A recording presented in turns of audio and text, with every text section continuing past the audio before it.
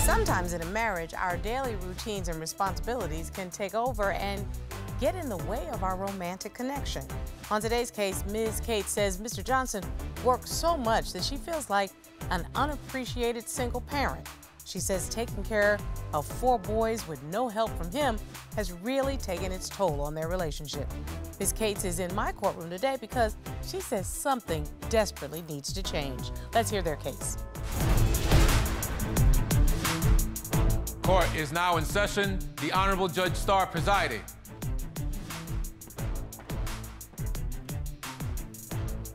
Your Honor, this is the case of Cates versus Johnson. Thank you very much. Ms. Cates, Mr. Johnson. Ms. Cates, you say your marriage has become stale and you've lost that emotional connection. You say you need my help to get that marriage back on track. Yes, Your Honor. And Mr. Johnson, you say the lack of communication has resulted in no intimacy and it's been a struggle. Your goal today is to address all issues and try to fix your marriage. Yes, Your Honor. Okay, so it sounds like both of you have come into the courtroom solution oriented, trying to figure out what you can do to get back to you. Is that right, Ms. Cates? Yes, Your Honor. Why are we in court today, ma'am? We are here due to the fact that I, I feel like we're a lack of communication, Mm-hmm. affectionate, and he does not support my dog rescue, and we are just a day-to-day routine, and I'm just fed up. Mr. Johnson, you heard what your wife said. What do you say? I'm here because I love my wife and try to be a better husband and a better father. That's wonderful. Actually, you're coming in with the right attitude. You know, sometimes people come in divorce court and their marriage is irretrievably broken, but you both clearly there's love there and you want to be able to figure out how to communicate better so that the marriage is better. Ms. Cates, talk to me about how you met and what has led us to the point where the communication has broken down. I met him about 13 years ago. Uh, we lived on the same street. Uh, I threw a Fourth of July party. Uh, I invited him over, and you know, one thing led to another. I wound up kissing him in my front living room. One thing must have led to three others. Yeah, actually four others. the following day, we wound up having sex. Um, I found out that he was a, vir- a virgin. Um, And I found myself wanting something other than what I had. I wanted to be with a man that had no other children, that did not have the baby mama drama. I wanted a life where there was no roller coaster that I was already in. And you thought to yourself, this is the perfect person. We can all start it out together. Yes. And so you all actually uh, have been together for 13 years. You've only been married for three years. Yes. But you do have four children together. Yes, we have a six, a seven, and a three and a four-year-old boys. Okay, all boys. Yes. Okay, so, Mr. Johnson, you heard what your wife said. It sounds like it started off all roses and daisies. Yes, ma'am, it did. And um, I met her because my uh, when my father had passed away, she was there with me. So you were dealing with some trauma in your family, Yes, ma'am. and Miss Cates was helpful during that time for you. Yes, ma'am, she was. And I understand Miss Cates had some past trauma herself. Yes. Having come through that trauma together, how do we get to a point where you don't think your husband makes you a priority? Um, Your Honor, he works from like six o'clock in the morning until probably six, seven o'clock at night. I stay home with the two younger children. Um, we have the two older children that goes to school. And like when he comes home from work, like I want the affection. I want to be like, I want him to tell me, well, how was your day? Like, You need engagement, is what you're saying. yeah, like, can I take the children off your hands so you can have you time or something like that, you know? I Eh. just don't get it. Have you communicated that? I've tried. When the last time you had a date night, Miss Cates? We do not have date night. We never have a babysitter for our four children. I have tried to make a date night. Um, Do you cook dinner at yes, home? I do. I actually cooked dinner for him about a couple weeks ago. I called him at work right before he got off, and I said, "Don't don't go out and get no food. I made dinner at home." You did tell him. Yes. And he said, Oh, I already stopped and got McDonald's. I said, Well, that messes up my plans here. So I guess me and the children are just going to sit and eat dinner by ourselves. So, like, I was really mad. I was furious because, you know, I don't get to have dinner time. By the time he comes home and it's bedtime, you know, the kids get a bath between 7 and 7.30, bed between 8 and 8.30 because we got two olders that get up for school the next morning. We don't have time to communicate. We don't have time to have dinner. So I have to make it a point. Well, okay, you're going to get off at this time. Well, dinner's going to be at this time. That makes complete sense. But what was the problem when you communicated with him? Uh, he already had taken it up on his own to get dinner from McDonald's. Okay, but Miss Cates, how was he supposed to know that you had decided to make dinner Uh, that day? because I text him in between the day and be like, well, Oh. this is what's going to happen. Like, um, so if you did put him on notice. Yes, I said I'm making dinner tonight. Got it. So please do not stop and get McDonald's. Okay, and Mr. Johnson, what happened? And when I got the message, it was late because I don't get out of work till six o'clock, and we're not really allowed to have our phones. So you job. didn't see the So message. I didn't see the message. Do you get a lunch hour? Yes, that's at noon. Okay. So, Miss Cates, in order to communicate with your husband when you know he's not able to uh, use his phone during the workday, but you know he has a lunch hour at noon, from noon to one o'clock, if you need to communicate something to him, that would be the time you need to put it in his phone. Don't you think that makes sense? Yes. And Mr. Johnson, it's on you to look at your phone between noon and one because that's the time you have access to it and make sure there's nothing you need to know at home. Yes, ma'am. Does that make sense? Yes, ma'am. Everything has a solution if you both want to be solution oriented. That's not hard.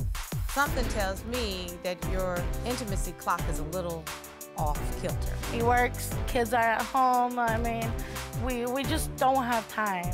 I think it's really important for you to now start to make time.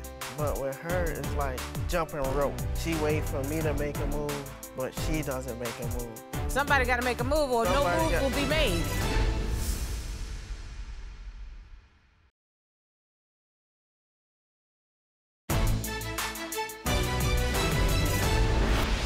What is hard is reestablishing intimacy. And Miss Cates, you say that's a big problem in your family. Yes. What's going on with that? So I have sciatic nerve. I've had six C-sections. Oh, So like, I take medication. Um, and when he comes home, I understand, you know, he he needs that time, but like I want that time too. Fair. Um, we put the boys to bed between, like I said, eight and eight thirty. so by nine o'clock, the I- little ones are asleep, Yes, or at least halfway, almost asleep. at least know? in the bed. Yes. Then like I take nighttime medicine. Uh, So like sometimes I have to double it up to get to sleep. But like one night I I got in the shower. All the kids were in bed early, you know, it was great time. I got out of the shower, I came in butt naked, and he was already asleep. I, and you know, that made me feel like, okay, what what's going on here, you know? So, in other words, you were trying to set up a little bit of a romance, Yes. and he, by the time you came out of the shower, he was already knocked out. yes. So, something tells me that your intimacy clock is a little off kilter. Yes.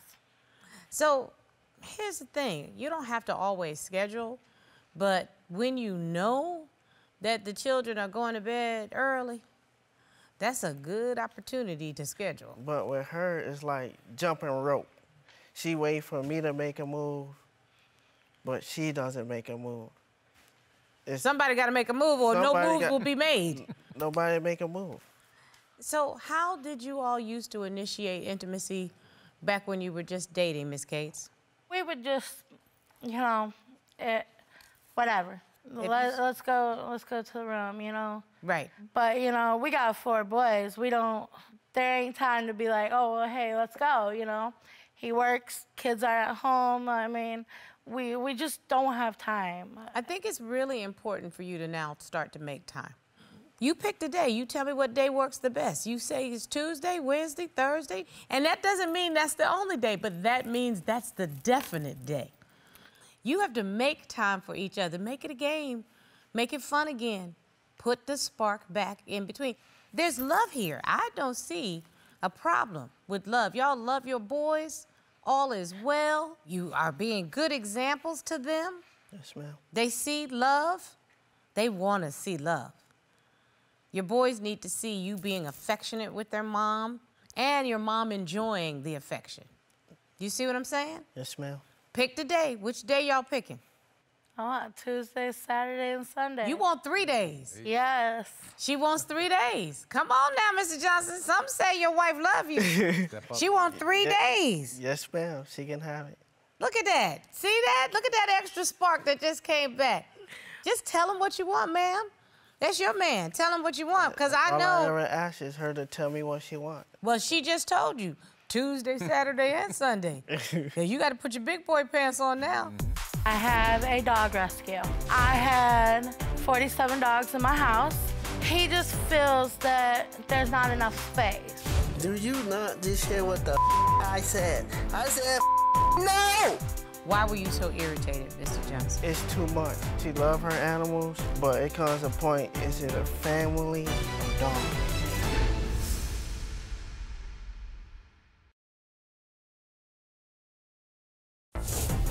If you'd like your case to be heard on divorce court, call us toll free at 1 877 311 2222 or log on to our website at divorcecourt.com. Missed a show? Watch full episodes on our streaming platforms and follow us on social media for exclusive content. Miss Cates, I understand there's also a conflict as to an activity that goes on in your house. Yes, I have a dog rescue. Now, did you all talk about that? Because that's a very big undertaking for a family. So, when we met, I had 47 dogs in my house. They all knew their kennels. They knew how, like, which kennel was theirs. You know, they were very well trained. How big is your house? Uh, I had a five bedroom house when we met. Wow. And, you know, he would see me walking down with five, six dogs on a lead together. Right. And then we, you know, we got to talking, and he actually took in one of my dogs that I had rescued. But the more we got together, the more that we me- became affectionate, you know, the more he got irritated. Um, we went from having a big house to a two bedroom house. Now you know you can't have 47 No, dogs. in a I two-bedroom actually, house. Right. I actually have a couple pictures of my rescue dogs and some of my personal dogs. And what's going on with the? Is that a snake? Yes, I have three personal snakes. I got a ball python and a Columbia red-tailed boa that is about eight feet long. And In a two-bedroom apartment, a house. two-bedroom house. with a basement. My dogs stay in my basement, or you know, and Or you know, what's the? Or you know? the yard. I have a nice sized yard. I have two yards. He just feels that there's not enough space. And I feel that if I'm not pushing you or me or my kids out of their space, then you should not have nothing to say. So here's my question. And I also have a voice recording of him yelling at me. Uh oh. About these animals? Yes. You submitted it as Yes, I did. I'd like to hear it. This is not Captain Save the Dog World. Let's think about other things besides dogs, okay? Do you not just hear what the I said? I said no! That means no! No, no, no, no. The dog's not coming to my house. The dog's not standing on my walk. The dog's not even going to enter my door. It's the answer no. Wow. The answer is no, Miss Cates. He don't want no dogs. Yes. He's upset about the dogs. It's interesting. Mr. Johnson seems very mild mannered, but he was irritated. Yes. Why were you so irritated, Mr. Johnson? It's too much. It's just too much. Uh, the money, no, you know. How is no, it no impacting on your money family? And no space. How's it impacting on your family financially? Uh, it's impacting us a lot. And How, that- how much do you spend? Five, six hundred, maybe a thousand dollars to take dogs to the rescue, to get them fixed. Yeah. Miss Cates? I mean, I understand she love her animals, Mm-hmm. but it comes a point, is it a family or dogs? And I love my dog. But Miss Cates, you have a family dynamic that you get to stay at home, and Mr. Johnson is the one that has to go out and earn the living for the family. He shouldn't have to bear the burden of this extra expense Um, on he is not the only one that pays for my vetting. I Well- get income too. Okay. But is the income being used to take care of all the dogs, or does he have to put in money to He do does have to help out with some, yes. so, Miss Cates, in all honesty, And animal control told her to leave the dogs, let the dogs be. If they out there free, let them be free. Instead of picking up a dog, knowing you don't have the space in a two-bedroom house. so Robert, animal control is going to step in in a minute. Uh, a lot of dogs in the in the house. I've seen it all the time with neighbors and stuff, and I'm surprised they haven't come to your house already. They have.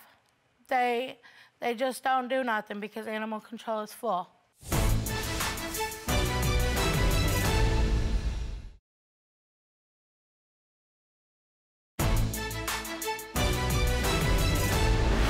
So, Miss Cates, you said you have a pretty good sized yard. Yes. you're going to need to limit what this project is. And I'm going to tell you why. Because your commitment to the animals is pushing your husband away. Because for this mild mannered man who works like a dog for his family and loves doing that, to turn into this cussing person that I heard on the audio tape, it means you pushed him to the edge. And I don't want to see you push him out the door because you have four children and you don't want to lose your husband. So I think you need to limit the project that you're working on and try to figure out a compromise because this man and those children, they don't need to live in a house that's a menagerie. The animals that you have presently, you shouldn't be adding to it. It's not a zoo in your house, it's a home. And I think you are replacing the affection that you're missing from your husband with this need to obsessively collect animals. So Yeah, I just put some right. stuff in place to help you all get back to the affection. And if you are hitting it every Tuesday, Saturday, and Sunday, you ain't got time for no more dogs, child. You're gonna be busy. You're gonna be negotiating with four boys. You're gonna be cooking. You're gonna be taking care of your husband. You're gonna be spending 30 minutes a day just catching up with each other, having conversation. You're not going to need to fill your day with more animals. So just like I asked for the days, Tuesday, Saturday, and Sunday, and I told Mr. Johnson it's time for him to put on his big boy pants, you have to put on your big girl panties and ask for what you want and make your commitment to your husband again. That's what your job is. It's time for you to be a wife and not Miss Cates, the dog rescuer. Rescue this marriage, Miss Cates. That's your man over there. And you don't want to lose him, am I right? You're right. And you're not trying to give him up to somebody else. No. Because something tells me anybody that's asking for Tuesday, Saturday, and hmm. Sunday says to herself, if you can beat me rocking, you can take my chair. Am I right, Miss Cates? Right. Go rock your world.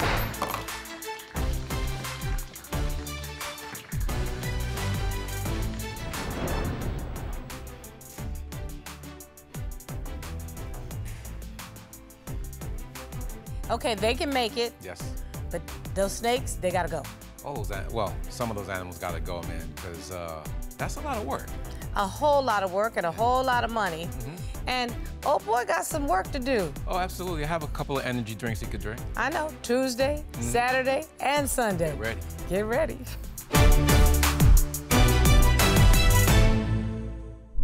Made in Georgia.